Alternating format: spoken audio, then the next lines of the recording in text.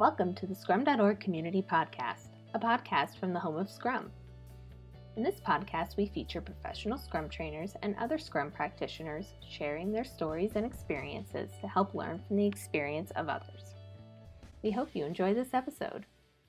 Hello and welcome to the Scrum.org Community Podcast. I'm your host, Dave West, CEO of Scrum.org, here in a rainy and wet Boston, Massachusetts. Today's podcast is focused on the journey um, of one of our professional Scrum trainers, our PSTs, uh, David Sabine, uh, and his journey to becoming a PST, but more importantly, his journey to Scrum and then the sort of evolution of that. Welcome to the podcast, David. Thanks uh, very much for having me, Dave. It's nice to see you we haven't seen each other in a while in person, but uh, hopefully I'll be able to travel to Boston in the near future and see you again. No, I'm looking forward to that. It it, it has been uh, three or, or so years, but uh, so I, I, guess our listeners would like to know a little bit about you. First, uh, where are you where are you calling in from, David? London, Ontario. It's the other London. Uh, so it's in Canada, uh, about two hours away from Toronto.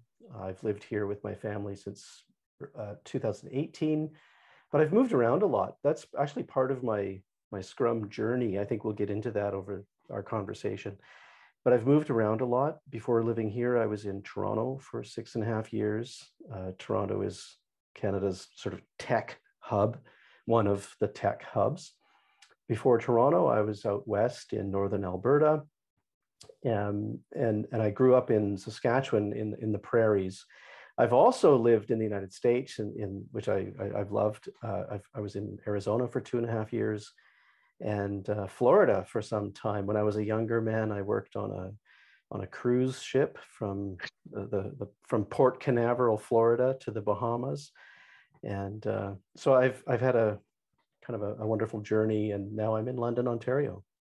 Great. That sounds interesting. We'll have to lean into them, some of that. But obviously, listeners, uh, David is Canadian, so he's going to be super nice during this present during this conversation. So uh, which is always good to know. All right um interesting fact. Come on. Have you got an interesting fact that uh, our listeners would like? Ooh um yeah sure. I'm i'm also a musician. I've been a musician most of my life. The largest audience i ever performed for was 26000 people. I wasn't wow. alone. It wasn't a solo performance. I was with a large band um, but that's been pretty wonderful. Uh, and, and I think having been a musician, that has lent to, uh, let's say, a greater understanding of incremental improvement. Yeah. Um, which also ties back to the work we do as Scrum trainers. So yeah, interesting fact. I was uh, I, I, performed for the Queen uh, two times, while she was uh, traveling through Canada. There that's, that's interesting. I've never performed for the Queen, God rest her soul, uh, but uh, but um, that's uh, that is super interesting. Wow, I didn't know that. It is though the amount of trainers um, that are also musicians. I think there's you know there's elements of discipline there's elements of performance there's elements of incremental improvement there's elements of you're sort of uh, working with others. There's all those things that I think come true when when when you're as a musician practicing practicing our craft. All right, so you but know on that point, I would be also interested to know of all the musicians that have become professional Scrum trainers and, and are associated with scrum.org and that, that you talk with frequently, I would be interested to know how many of them are also self-taught programmers. Um, that's certainly true of myself. I don't know if that's been a pattern you've observed. Not, re- I, I actually don't know. That's very interesting. I, I definitely see a correlation between between people that have got that sort of desire to look at complex problems to break it down to control you know mm-hmm. that sort of software engineering kind of gene or that engineering gene.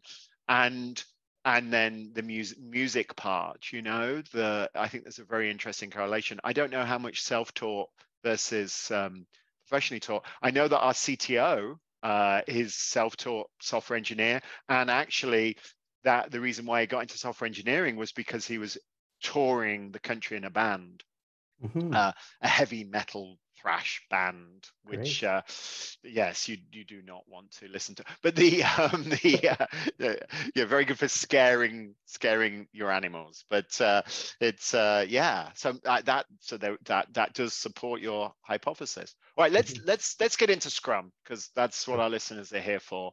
You know, um, you know, what did you wh- when did you discover Scrum? Where were you when you discovered Scrum? Tell me a little bit about your Scrum journey. Trademark Dave West, by the way. Scrum journey. Scrum Um, Journey, yes. 2007. Um, that's when I learned of Scrum, and I think that my path to or like to that point is interesting and important.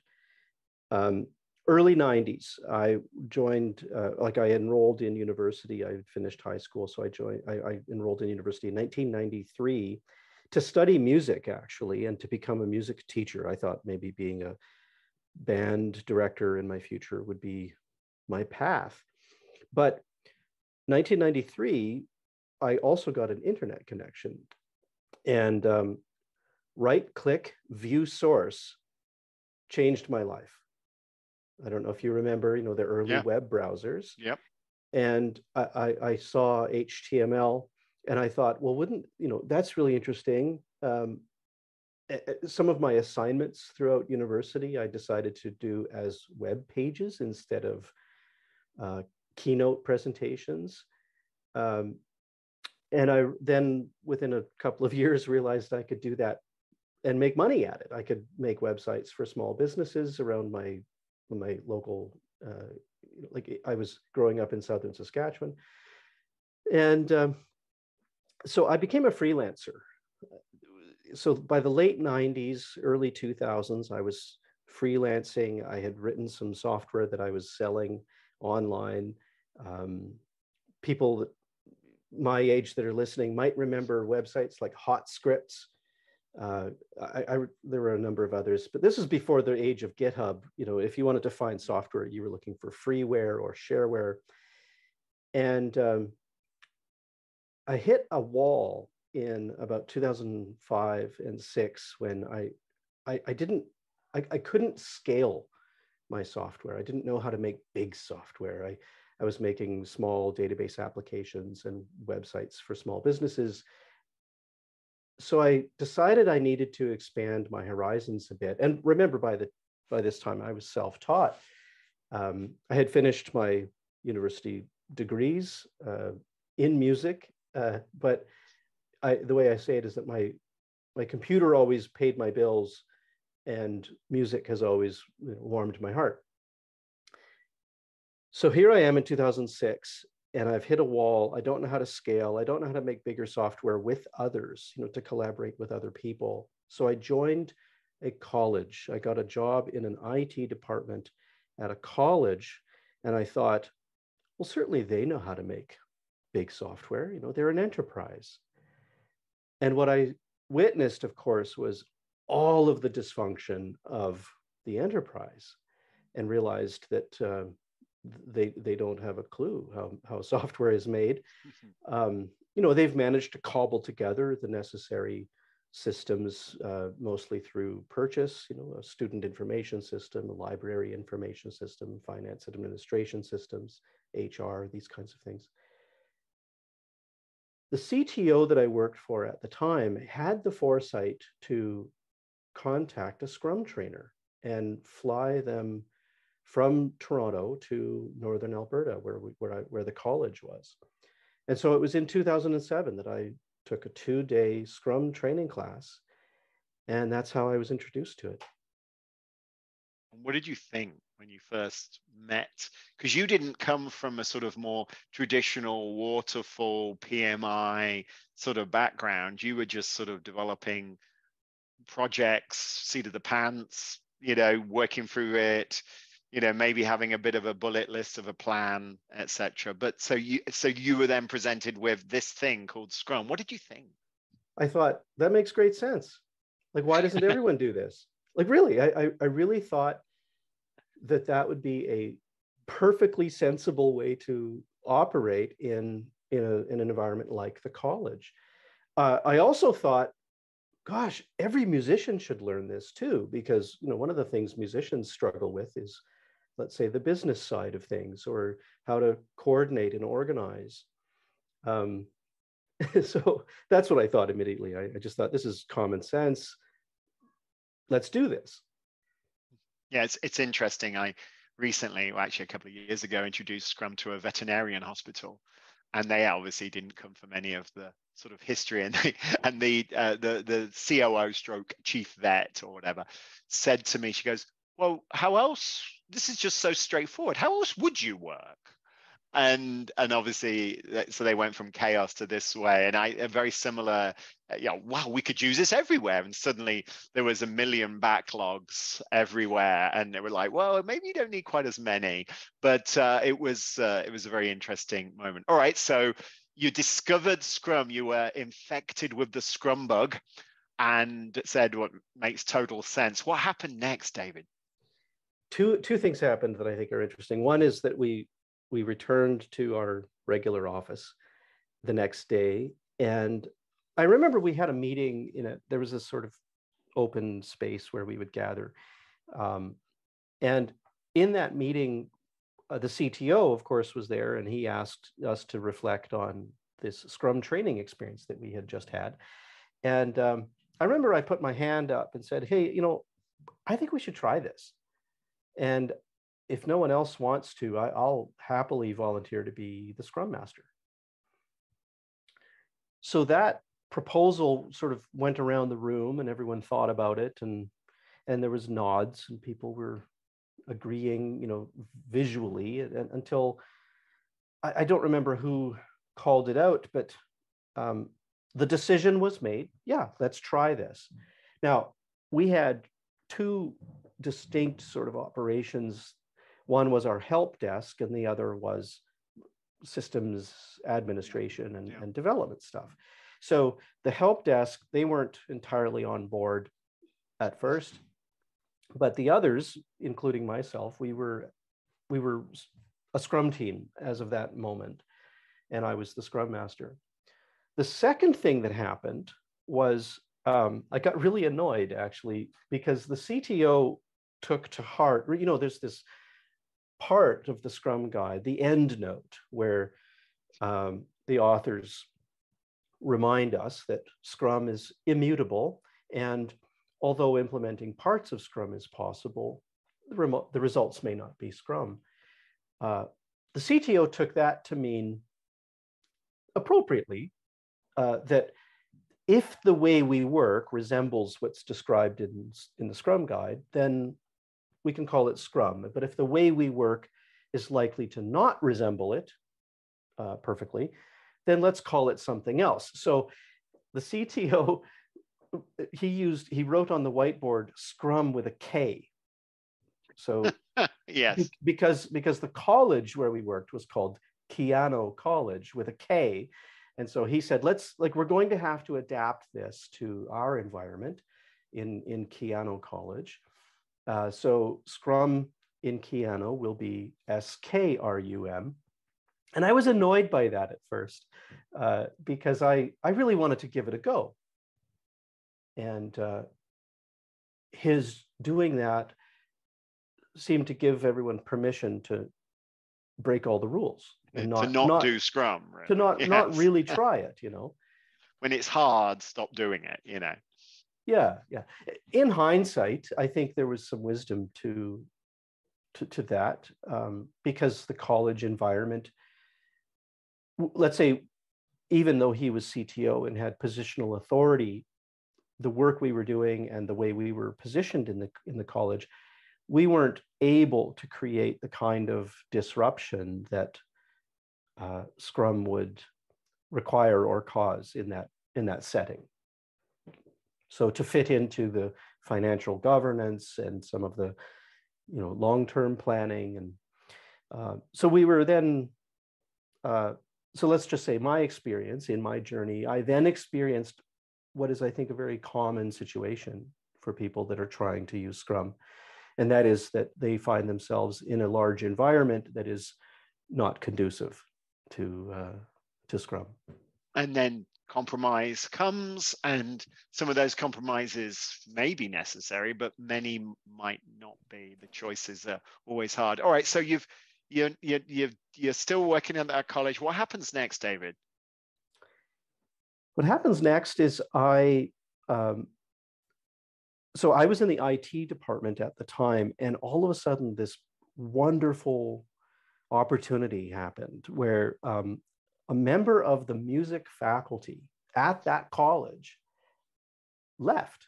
Um, she, she resigned her position and uh, moved across the country. And there was this opening in the faculty of performing arts, which, as you recall it, from my story, I had. Yep. That's your vocation. That's what you wanted to be, right? Yeah and uh, so i had always wanted to find a way to blend my musical passion with uh, software development and, and it or, or technology.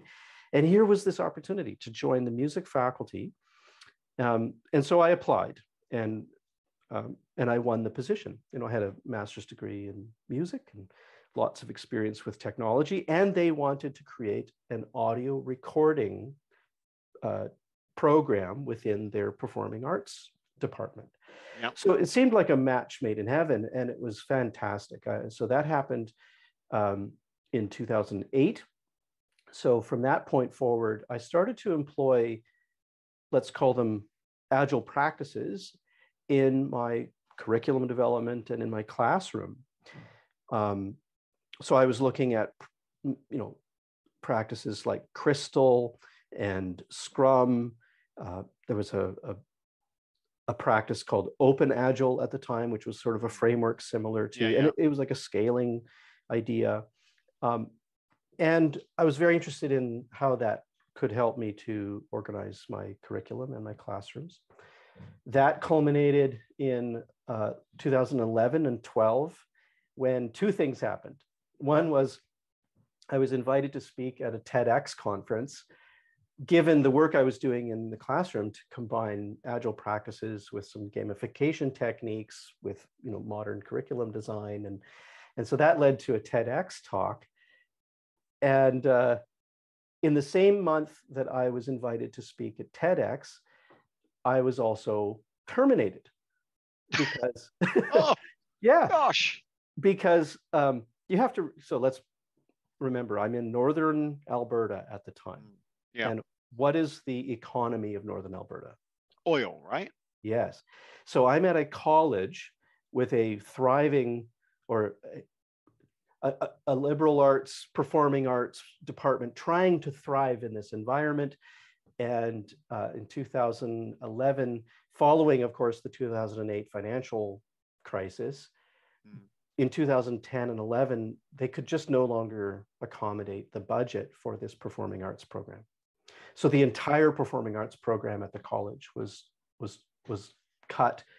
And uh, so my position stopped. Uh, it was it was so bizarre because um, i thought there, there was just so many wonderful things happening and that the program was on the precipice of of something really great. Uh, but it ended.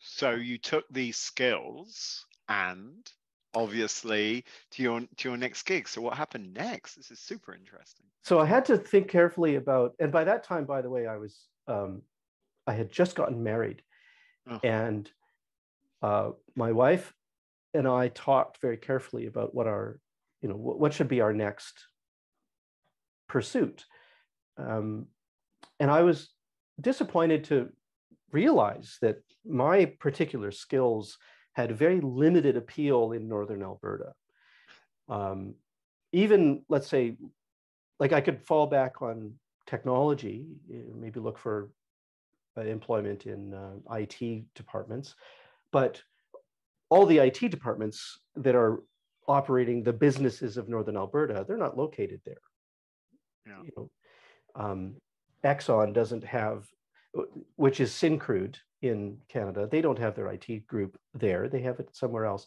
So anyway i was thinking carefully about how, where my skills are valuable and it became obvious that my skills are valuable where there's a tech you know a thriving tech hub. And uh, in Canada, that limited my options to Vancouver, Montreal, Toronto, perhaps. Uh, and so I, I started to look around in Toronto. And connected with a really fascinating company called My Planet Digital. They are now rebranded. They're, they're now called Aureum uh, Incorporated.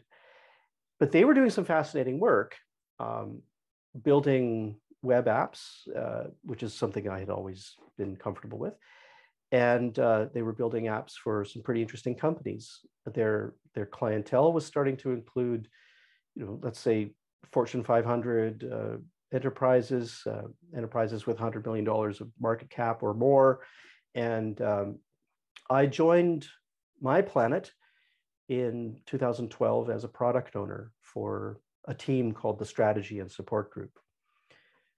So there was an interesting turn that happened there in 2012. I landed, I would say, from my you know previous uh, crisis, I, I, landed in a great uh, in a great opportunity.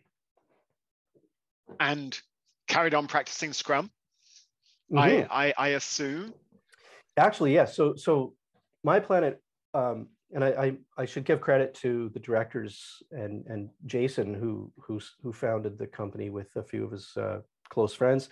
They created an environment that was thriving. Um, you can, you can imagine um, a company of, uh, well, when I joined, I think we were 32 people. It grew to its maximum at about 140. Uh, but these were, this was a company of teams. Um, and each team had a portfolio of enterprise clients for which they were producing products, uh, applications, mobile apps or web apps or other sort of middleware or you know, various other things. And each team was give, given significant autonomy. So a lot of my uh, experience as a Scrum trainer, you know, that I bring to the classroom, really, I, I, I, I bring a lot of that memory to to my classes, where I can talk about contracts that are uh, where scope isn't fixed, where instead we would write our our definitions of done into the contract, which was a, pro, a, a, quality promise. You know, no matter what we build for you, because our product backlog is going to be very flexible, we will test every feature in these ways and ensure it's this perform, you know, this level of performance and this level of quality and so forth. So agile contracting, um, working in small cross-functional teams with uh, the whole array of skills necessary for product development. So we, in our teams, we would have, uh, you know, marketing experts, design expertise, coding expertise, the, the, you know, the whole gamut from sales, sometimes uh, contracting, support, uh, everything necessary to build and bring products to market that that that is unusual and yeah. definitely uh, leading edge. We obviously all aspire to that. It's often a lot harder to break that industrial mindset and and really build those cross-functional teams. I know we're we're coming to the end of our time together, so I, I do want to get to one very important question. Why did you want to become a PST, David? Because uh, as you know from my story, I, I've always felt it very important to be teaching. Uh, you know, I wanted to be a music teacher, for example. And um, then I did become an instructor at a college. So curriculum design, instruction, uh, adult education has always been one of the paths, you know, that I've followed, let's say. And becoming a professional scrum trainer i think was a great way for me to mix that passion with my interest in scrum and the experience that i had earned and i could share that experience with others. Um, so there you know in a nutshell i think is the reason i wanted to be a PST. also that that the professional scrum trainers uh, are fascinating. You know this is a great group of people very intelligent very interesting lots of incredible experience. And to be I guess, recognized in, you know, by others in that community as a fellow expert uh, was quite an honor. And uh, I still feel that honor, uh, even though I've been a professional Scrum trainer now for five years. You know, it's still an honor to be part of this group. Well, it's great to have you part of this group. And I certainly learned a lot more about your journey today, um, which is fantastic and really quite unique. It is interesting what you said about the community and how varied and how uh, you know smart intelligent whatever. That those experiences bring come together. Your experience is, is very unique and it puts you in a, a really uh, interesting position when when working with clients and when teaching this consistent scalable curriculum that we have. So thank you for being part of this community david and thank you for sharing your journey with with with our audience um, well thank so, you dave uh, speaking of clients, I have uh, a, a, wonderful client now that I'm leaving you to go talk with them. uh, thank you very much. Well, thank you. And uh, thank you for our listeners. That was David Sabine uh, talking to us about his journey to become a professional Scrum trainer here on the Scrum.org community podcast. I'm your host, Dave West, and I can't wait to, to talk to you again on another podcast. Bye, everybody.